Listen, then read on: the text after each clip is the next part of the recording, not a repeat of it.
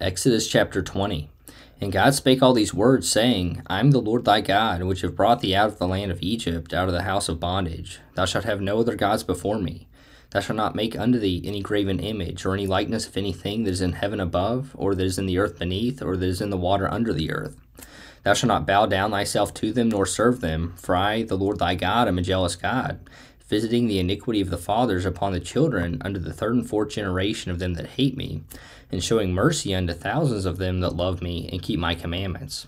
Thou shalt not take the name of the Lord thy God in vain, for the Lord will not hold him guiltless that taketh his name in vain.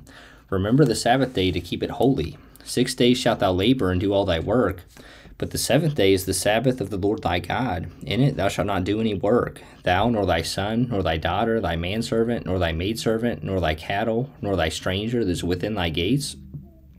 For in six days the Lord made heaven and earth, the sea, and all that in them is, and rested the seventh day. Wherefore the Lord blessed the Sabbath day and hallowed it. Honor thy father and thy mother, that thy days may be long upon the land which the Lord thy God giveth thee. Thou shalt not kill, thou shalt not commit adultery, thou shalt not steal, Thou shalt not bear false witness against thy neighbor. Thou shalt not covet thy neighbor's house. Thou shalt not covet thy neighbor's wife, nor his manservant, nor his maidservant, nor his ox, nor his ass, nor anything that is thy neighbor's. And all the people saw the thunderings and the lightnings and the noise of the trumpet and the mountain smoking. And when the people saw it, they removed and stood afar off. And they said unto Moses, Speak thou with us, and we will hear. But let not God speak with us, lest we die. And Moses said unto the people, Fear not, for God is come to prove you, and that his fear may be before your faces, that ye sin not. And the people stood afar off, and Moses drew near unto the thick darkness where God was. And the Lord said unto Moses, Thus thou shalt say unto the children of Israel, Ye have seen that I have talked with you from heaven. Ye shall not make with me gods of silver, neither shall ye make unto you gods of gold.